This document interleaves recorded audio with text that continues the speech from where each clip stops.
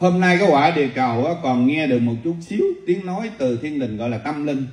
Thì hôm nay mới có một số người ngồi đây.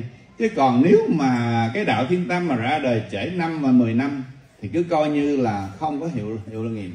Không ai còn nghe nữa. Bây giờ các con, có bao nhiêu thân nhân, anh em, chú, bác, cô, dì, cậu?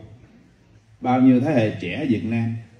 Bị cộng sản nhồi sọ 50 năm, nó có biết gì là tâm linh không? Nó chỉ biết mỗi ngày ra ô bữa nay à, nhậu chỗ nào ngon như mày? Ở chỗ nào vui như mày? Tối ngày đi tìm vui với nhậu được không đúng không? Nó có hiểu cái gì không? Mà trong khi nó đâu bây giờ nó hiểu. Học sinh là người tổ quốc. Lo cho mai sau. Tổ quốc. Nhưng mà cái tổ quốc của mình bây giờ toàn là sáng thức dậy ra toàn là đòi ăn nhậu với vui chơi không?